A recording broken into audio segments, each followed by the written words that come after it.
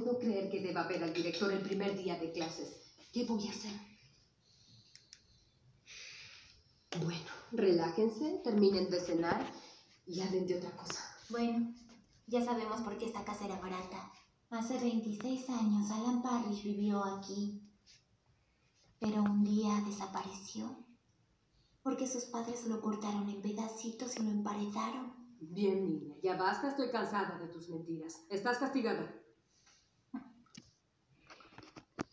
Vaya, no hay dónde divertirse en este estúpido pueblo. Y para tu información, no era mentira.